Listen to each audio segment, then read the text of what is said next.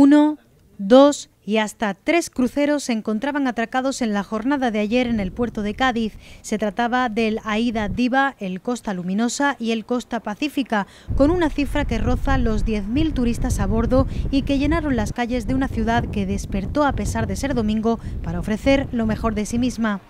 Calles abarrotadas, comercios abiertos incluso con colas en las cajas, terrazas llenas y un espectáculo flamenco en la Plaza de San Juan de Dios a cargo del grupo Toma Castaña. Una imagen poco usual en Cádiz un domingo cualquiera, pero que sin duda fue muy beneficiosa para la economía local. Ya además se están quedando en la ciudad de Cádiz, hablamos del 70% son los que se están quedando en la ciudad de Cádiz. Bueno, el siguiente paso está siendo este, el del impacto económico, el intentar que sea cada vez mayor.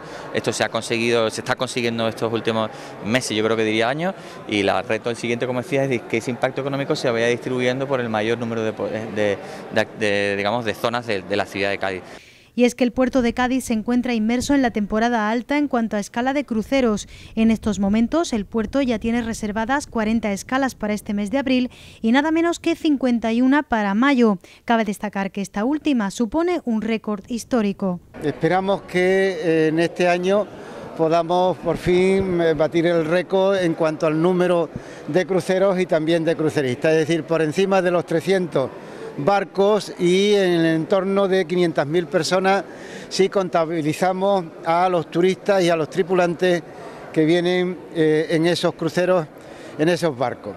Eso supone eh, un activo importante para la ciudad y para todo el entorno que eh, estimamos en el entorno de 22 millones de euros año.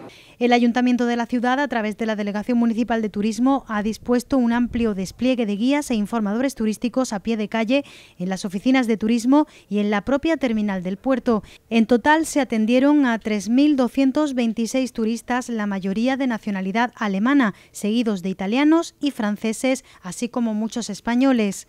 Desde el Ayuntamiento consideran que la apertura de comercios y hostelería en las zonas de mayor tránsito de cruceristas, como pueden ser Canaleja, San De Dios, Calle Pelota, Catedral, Compañía o Plaza de las Flores, hacen que los atractivos sean aún mayores, por lo que su intención es seguir trabajando para la ampliación de esta zona de influencia comercial y hostelera.